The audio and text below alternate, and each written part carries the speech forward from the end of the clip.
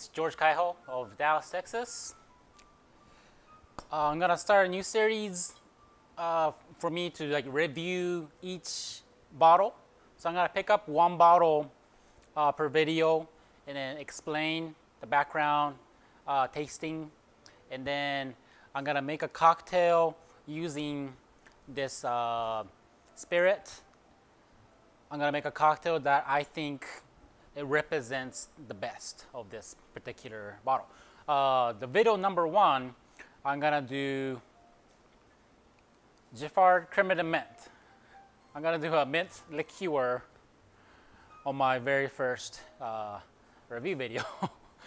why, why did I pick this? There's like no reason. I was earlier, uh, I was kind of experimenting a cocktail using this, and uh, I thought about doing this video, so I'll just use this one instead because uh, this is a very extremely good brand. So, all right. Uh, first of all, uh, let's talk uh, mint liqueurs in general. I'm sure you have seen mint liqueurs at a bar, like mint flavored stuff. You know, there there are many out there. Rumple Minze, uh, De Creme de Mint Pastille. This is, in my personal opinion, is the best mint liqueur around. So compared to most mint liqueurs you have you might have had, this is way beyond for quality, like the like flavor, and then like basically the finesse. Uh, it beats it all. There's another brand I'll probably explain in the middle. Uh, those, that one and this one is pretty up there. Uh, my personal favorite is the Giffard. All right, so let me give you a little bit of the uh, story about this brand. So Giffard is, of course, um, a Giffard, a brand based out of France, uh, the town called Angers, France, in the Loire Valley. Loire Valley, or Loire, like there's a river uh, it's in center France. Uh, very famous for wine. Uh, if, you, if you are a wine person, there's a region called uh, Angers Saumur that's famous for the Gamay, and I think they make uh, some, uh, Sauvignon Blanc and other stuff. It's it's a, like a really good region for fruits. Uh, I heard it's a very beautiful place you know, to go. I wish I could go. Uh, they make all kinds of different liqueurs and more than probably 30. Uh, I have several of my personal favorites. This line, this label is like the higher quality one. This one is like the mid tier. And my personal favorite is the apricot. And they also have uh, like ginger, of course, creme de cassis, uh, all kinds of stuff. Pineapple. This is cacao. Yeah, they have all kinds of uh, rhubarb is probably one of their uh, newer flavor. I think it came out last year. Anyways, uh, this is actually what made Giffard Giffard, the creme de menthe pastille. This is the first product that made made made the company basically. So uh, it dates back to 1885 in summer. Uh, apparently, it was a very hot summer that year. Speaking of which, I live in Dallas, Texas, y'all. Dallas, Texas. Uh, we're right now. It's mid-August. We're right in the middle of the all the 100, 100 Fahrenheit uh, days. I think it's gonna be a lot. This year is uh, more mild compared to the other years, but still uh, the heat is no joke. When the heat is no joke, you it makes you want to drink something that's refreshing, right? It's like something that drinking and I mean, really, kind of stuff. So mint is a is a great thing to experience the That's why like uh, originally the what's that called? The julep was was a big thing uh, to beat beat the heat, because back then there's no, there's not even ice back then. Okay, so 1885, the owner, uh, Emilie Giffard, Emilie Giffard, he owned a pharmacy, and he saw the heat, so like he started thinking, oh, maybe I should make a, a mint liqueur and then like, pass it around because like it's you know it's a nice thing to do. Give it to people, maybe sell it. And so he made a mint liqueur or creme de menthe in, in France. Uh, and apparently it was a huge success. Every, everybody loved it.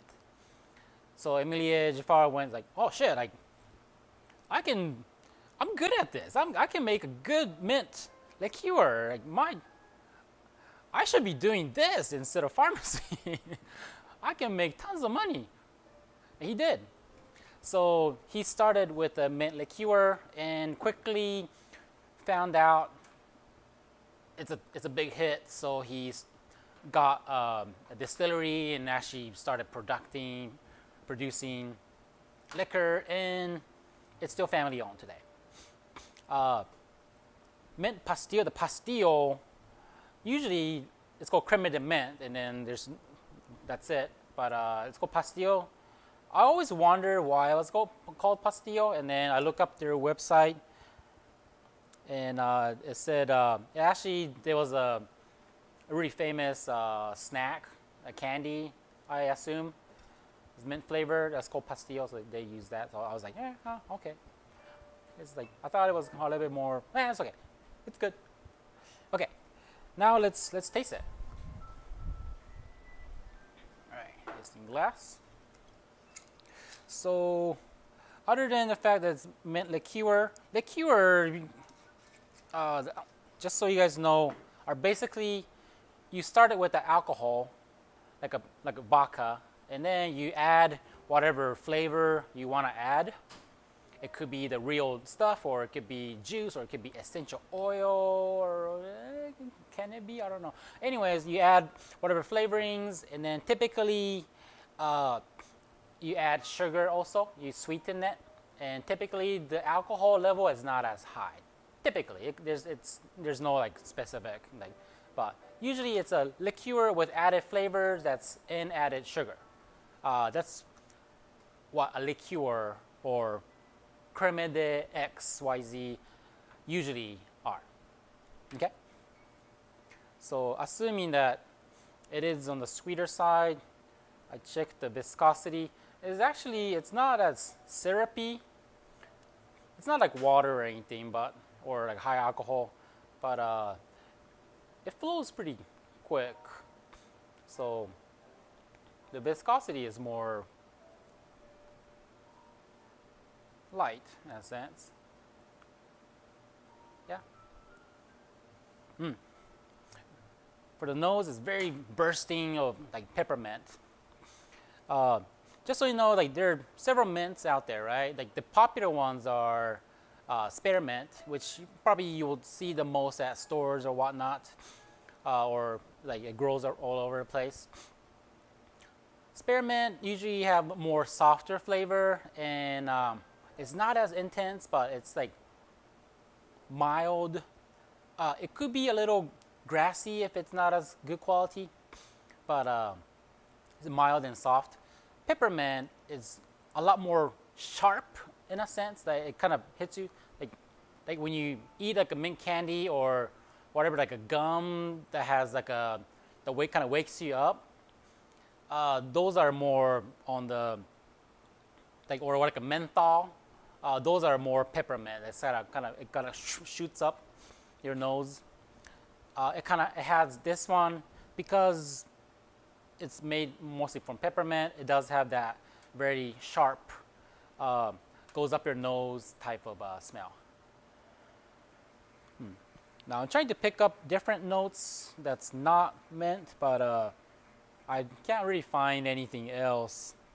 Uh, if it's a whiskey or gin or stuff like that. You know, the nosing could be pretty fun because you can pick up different stuff like fresh garden hose kind of stuff. But uh, yeah, it's pretty straightforward, but very like goes through, cuts through your nose type of uh, nose.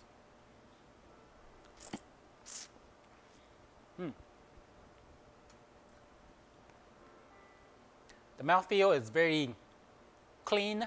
Uh, it's not syrupy at all. It, it doesn't coat your tongue or anything.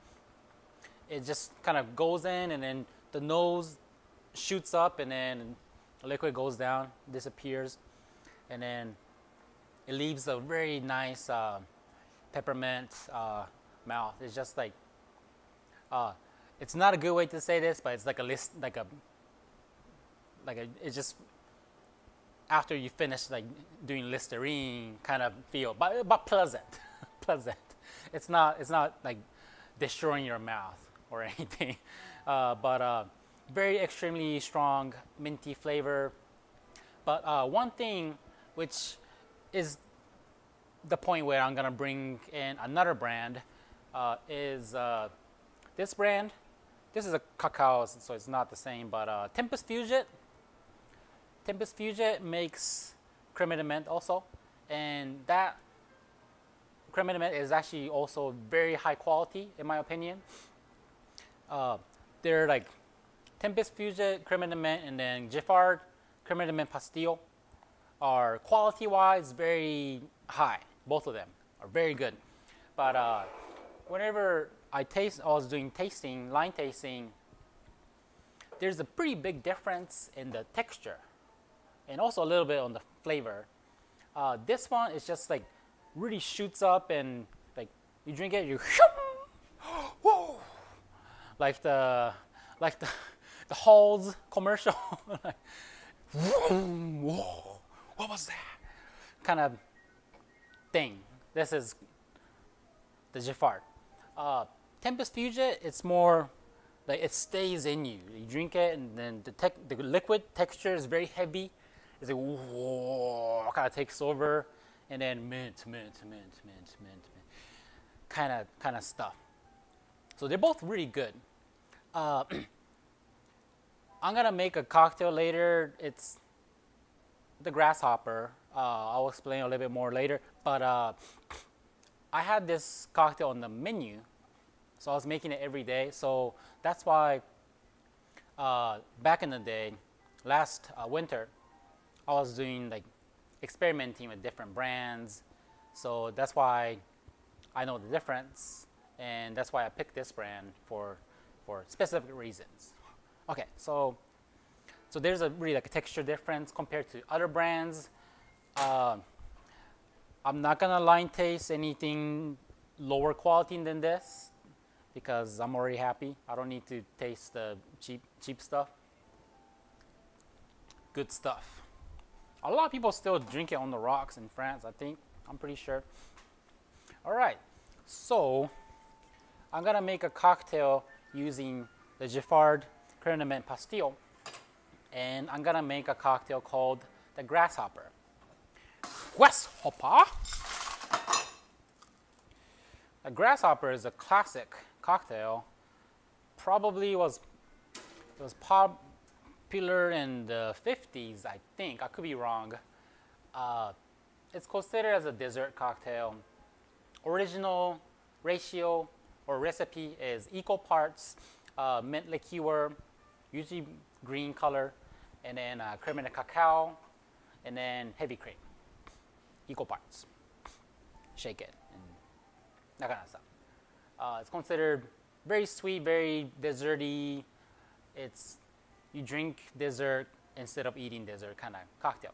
So I wanted to put it on my bar's menu last uh, winter because I like personally I like this kind of stuff that it's like a classic cocktail that was once popular, but nowadays people like kind of know about it, but they don't really drink it. And if you make it exactly as people used to make, it doesn't really fit modern palate. Like people today won't really like it, but if you make it the right way, it, it tastes amazing.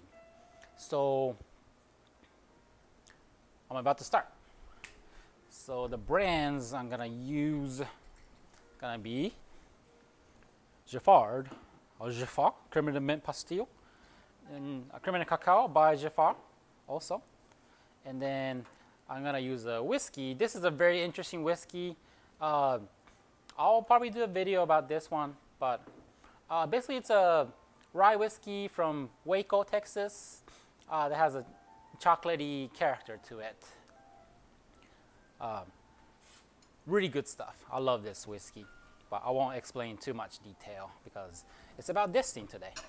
All right, and then last, uh, instead of heavy cream, I like to use uh, coconut cream. This is Mae Ploy from Thailand because I own a Thai restaurant also. My wife does actually. Uh, so coconut cream. I often use coconut cream instead of a heavy cream. Of course, it, it depends on the cocktail. Like for example, uh, if I use coconut cream for a Ramos Gin Fizz, it doesn't exactly taste as it should. So like there are good like things that you can or cannot use, but in this case, uh, it's, it's really about the mint and chocolate character. So you just kind of want the creamy texture and not necessarily the, the milky flavor. So uh, in this case, it works well. And uh, I like to use uh, coconut cream because like today I meet a lot of vegan people. Uh, so that's, you know, it, it's ease for them.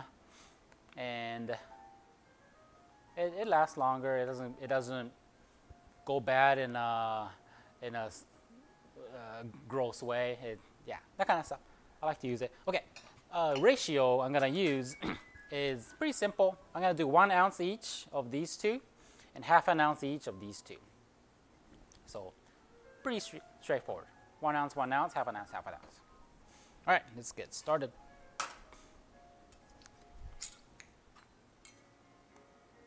Jaffa.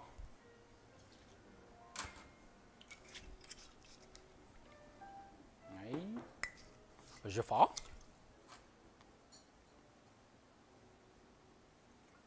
Oh, I made a mistake. Right, half an ounce, huh? Not, okay. I'm gonna, I'm gonna figure this out later, okay. The thing is, I don't edit the video, so if I make mistakes, I cannot stop. All right, so the key to be successful is to don't mess up. Then you'll be successful. All right, one ounce of this thing. Right.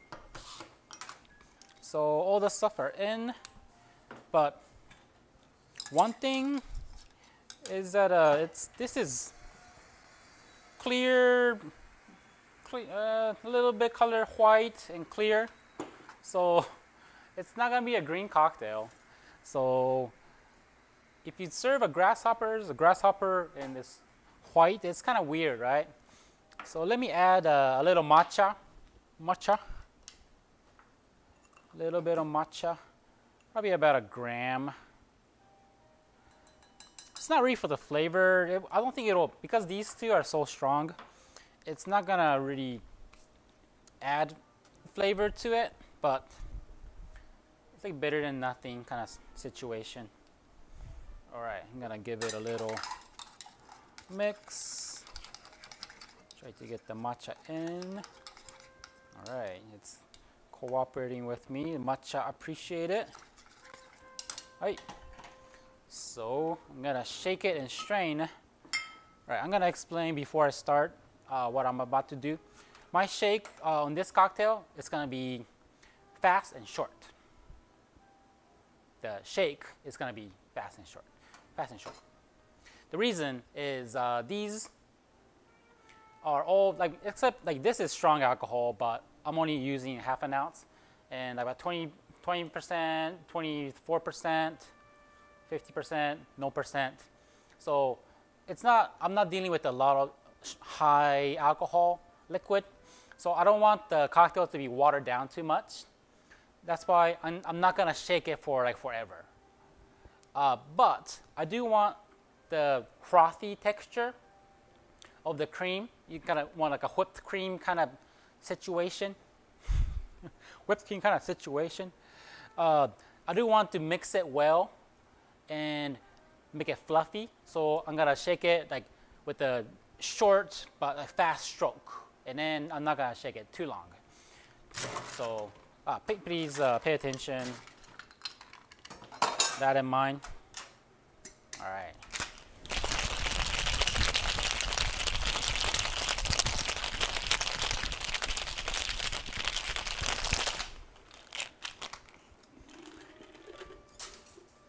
And then I'm gonna double strain this one so that it's not gonna have any extra ice flakes.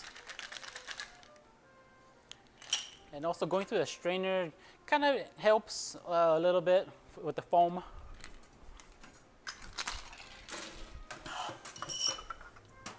All right. I don't know if you can see this, but it is pretty good on the foamy and nice green, green color. So I didn't mess up after all. All right, garnish is gonna be nutmeg, nice aroma. And then uh, this is a single origin chocolate from a brand called uh, Askinosie. They make, they import and make good chocolate. Uh, this particular one is uh, from Tanzania, 72% and uh, it's called uh, Mababu. It's from Tanzania, and the chocolate is called Mababu. Right. So I'm gonna sprinkle some, sprinkle Mababu. I'm gonna sprinkle Mababu. Right, Mababu done, and I'm done. All right hope you can see this. If not, I'm gonna take a picture and then uh, put it somewhere. Maybe in the, maybe on the first part so that you've probably seen it already. okay, I'm gonna drink it. Hmm, aroma nice chocolatey. Ah, okay, nutmeg, I find it too. Okay, cool. Hmm, hmm, hmm. I'll get the chocolate flavor up front and then creaminess. Uh, the alcohol level is it's not high. Uh, I feel like I can just it's like chuggable, and at the end the mint part really finishes clean it cleans it off. But overall, I don't like it's it doesn't leave any like sugary uh, sweetness like on your tongue. Maybe a little bit, but it's really pleasant on the sweetness scale. So it is mint in chocolate and cream. So it has all that kind of the dessert cocktail components to it. But uh, even before dinner, like it doesn't really matter when to drink it. It's, it's, this is a really good. Uh, this is a really good grasshopper. Yeah. I knew it because I used to serve this at my bar. exact recipe. So I'm acting like I, I made it I made it for the first time, but I actually been make, using this recipe and been making grasshoppers last winter. So I knew it was good. All right. So you got the recipe. Um, this is very important. Other stuff, kind of important, but to make a good grasshopper, this is the key. If you use cheaper brands, it's not gonna taste as good like this. All right? So, Giffard, you didn't ask me for making the video, but I, I made the video. if you watch it, give me, give me a, send me a text. All right, thank you so much. Now, if you like the video, I'm going to do more of this kind of stuff. Uh, if you like the video, you know what to do, right? Thank you.